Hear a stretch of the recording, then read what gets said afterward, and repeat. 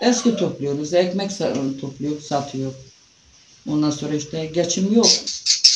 Rahatsızım. Aslımım var. Ondan sonra yani öyle birlikten geçiniyoruz işte. Ne? Çadırımız uçtu. Kimse sahip çıkan yoktu. Şey yapmadılar. Yazdılar, fotoğraf çektiler, gittiler. Başka bir şey yok. Tarım işçisi olarak çalışıyordum. Evet. Yomya'ya gidiyordum. O da şimdi şu anda Yomya da kalmadı, şey de kalmadı. Mahalleden de şey oldu. Ondan kere yani ekmek ekmek de olmuyor. Millet kırıntısını bulamıyor artık. Öyle şey olup gidiyor. Yardım geliyor mu sana devletten?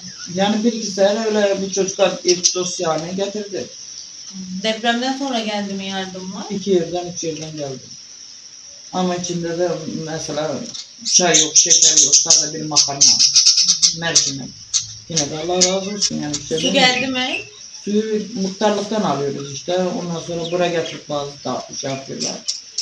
Öyle yaşıyor. Eve dair ne dediler? Hasarlı dediler işte. Öyle bekliyor. Çadırımız da işte. Dışarıda kalıyor. Balkonda yatıyor. Çadırı AFAD mı verdi sana? Hayır kendimiz çaktık. Dışarıdan çaktıktan. Daha bir gün muhtar gelip de sormadı yani neyiniz var neyiniz yok diye. İnsan sormaz mı yani bir şey. Nereden? Sabah dediler e, araba gelip dediler arzak dağıtıyor. Dedim dün getirdik dedim. Diye, dedim her zaman her zaman arabanın yanına niye gideceğim? Evet az önce erzak geldi ismi olanları He. almışlar. Senin ismin yok muymuş? Bu isimleri nere- neye göre yazmışlar sen biliyor musun? Vallahi bilmiyorum. Ekmekleri hayvanlara, e, ağaççılara veriyoruz. Eskiyi de hurdacılara satıyor işte plastik, plastik, teneke, meneke. Onlardan işte geçiniyor. Bu depremden sonra toplayabildin mi burada? Yok. Depremden önce ne varsa o kaldı Evet. tek. 200 geçer, 150 geçer, 100 geçer, 50 milyon geçer. Geçer. Sen şimdi onları satıyorsun, o an geçenle alışveriş yapıp Ekmek parası yapıyoruz. Ve sonra bir daha toplayıp He, bir daha yani gördüğümüz alıyor. Bazı insanlar soruyor diyor ne yapıyorsun Aysel abla diyor. Oturuyor mu diyorum, sigara içiyor mu diyor.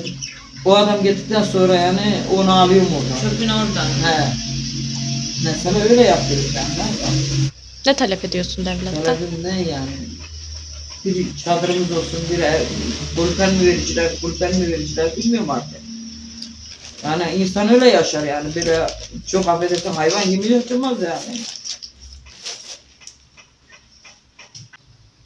Yaş gittikten sonra yani mesela sen başkasın, bu başka, o başka, ben başkayım.